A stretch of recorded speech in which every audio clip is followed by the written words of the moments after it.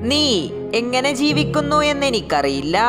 പക്ഷേ നീ മരിക്കുമ്പോൾ ഒരു വലിയ പണക്കാരനായി തന്നെ മരിക്കണം. കെ ജി എഫിലെ റോക്കിയുടെ ബാല്യകാലത്ത് അവന്റെ അമ്മ അവനോട് പറഞ്ഞ അവസാന വാക്കുകളാണിത്.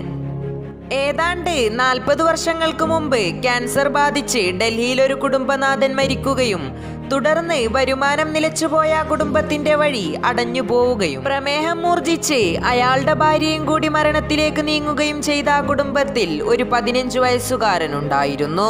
അമ്മയുടെ ചികിത്സയ്ക്ക് പണമുണ്ടാക്കാൻ മുംബൈക്ക് വണ്ടി കയറുന്നതിന്റെ തലേന്ന് രാത്രി അമ്മ മകന്റെ കൈകൾ ചേർത്ത് പിടിച്ചുകൊണ്ട് വേദന കടിച്ചമർത്തി പറഞ്ഞതും മുകളിൽ പറഞ്ഞ ഡയലോഗിനും അർത്ഥം ഒന്നു തന്നെയായിരുന്നു. ഒരാൾ ദാരിദ്ര്യത്തിലേക്ക് ജനിച്ചു വീഴുന്നത് അയാളുടെ തെറ്റല്ല. മറിച്ച് ദാരിദ്ര്യത്തിൽ മരിക്കുന്നത് അയാളുടെ മാത്രം തെറ്റാണ്.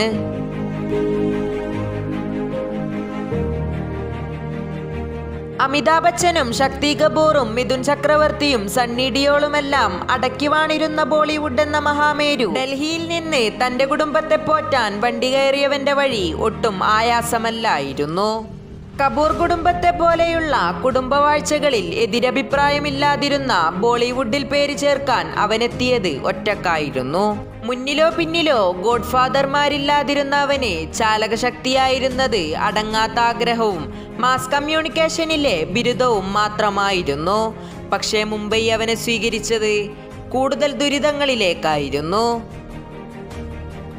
പോലീസ് വന്ന് തട്ടിയുണർത്താത്ത കടത്തിണ്ണകളും റെയിൽവേ പ്ലാറ്റ്ഫോമുകളും അയാളുടെ മുറികളായി. വിശന്നപ്പോൾ വയറു നിറക്കാൻ കോർപ്പറേഷൻ പൈപ്പുകളിലെ വെള്ളം വേണ്ടി വന്നു. പിന്നീട് പരിചയക്കാരുടെയും സുഹൃത്തുക്കളുടെയും ഓഫീസുകളിലും വീടുകളിലും മാറി മാറി താമസിച്ചു.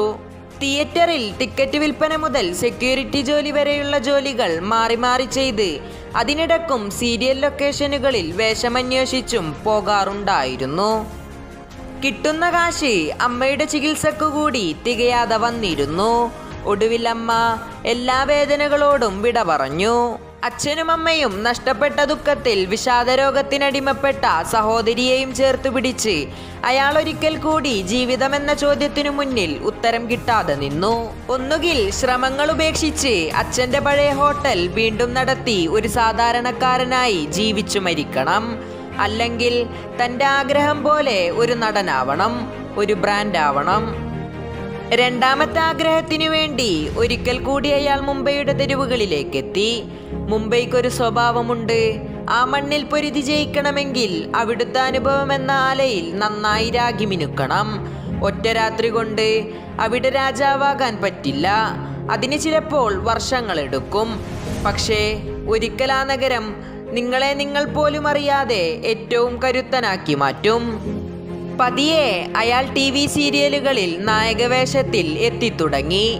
ദൂരദർശനിൽ ആയിരത്തി തൊള്ളായിരത്തി എൺപത്തി ഒമ്പതിൽ തുടങ്ങിയ ഫൗജി എന്ന പട്ടാളക്കാരുടെ സീരിയലിൽ നായകനായതോടുകൂടി അയാൾ പതിയെ പ്രേക്ഷക ശ്രദ്ധ നേടിത്തുടങ്ങി. പക്ഷേ എന്നിട്ടും മൂന്ന് വർഷങ്ങൾ കൂടി കഴിഞ്ഞാണ് അയാൾ ഒരു സിനിമയിൽ മുഖം കാണിച്ചത്. ആയിരത്തി തൊള്ളായിരത്തി തൊണ്ണൂറ്റി രണ്ടിൽ പുറത്തിറങ്ങിയ ദിവാന എന്ന ചിത്രത്തിൽ ഋഷി കപൂറിനൊപ്പം സഹനടനായി അഭിനയിച്ചുകൊണ്ട് ഏതാണ്ട് നീണ്ട പത്തു വർഷത്തെ കാത്തിരിപ്പാണ് അയാൾ അവസാനിപ്പിച്ചത്. ആ വർഷത്തെ മികച്ച പുതുമുഖത്തിനുള്ള ഫിലിം ഫെയർ അവാർഡ് നേടിക്കൊണ്ട് അയാൾ ബോളിവുഡിലെ വൻസ്രാവുകൾക്കിടയിൽ തന്റെ വരവറിയിച്ചു. ആദ്യം വില്ലനായി. ബാസീഗർ പോലൊരു ചിത്രത്തിൽ വില്ലനായിരുന്നിട്ട് കൂടി അസാധ്യ പെർഫോമൻസ് കൊണ്ട് ജനഹൃദയങ്ങളിൽ സ്ഥാനം പിടിച്ച അയാൾക്ക് നായകനാകാൻ അധിക കാലം വേണ്ടി വന്നില്ല. ഏതാണ്ട് ഇരുപത് വർഷക്കാലം ഇന്ത്യയിലെ ഒരു തിയേറ്ററിൽ പ്രദർശിപ്പിച്ച ബോളിവുഡിന്റെയും ഇന്ത്യൻ സിനിമയുടെയും ചരിത്രമായി മാറിയ ദിൽവാലെ ദുൽഹനിയ ലേ ജായേഗ പുറത്തിറങ്ങിയതോടെ അയാളുടെ പേര് ഒരു ബ്രാൻഡായി മാറി. പട്ടിണി കിടന്ന നാളുകളിലും അയാളെ ജീവിക്കാൻ പ്രേരിപ്പിച്ച ആ സ്വപ്നം. S R K since nineteen ninety five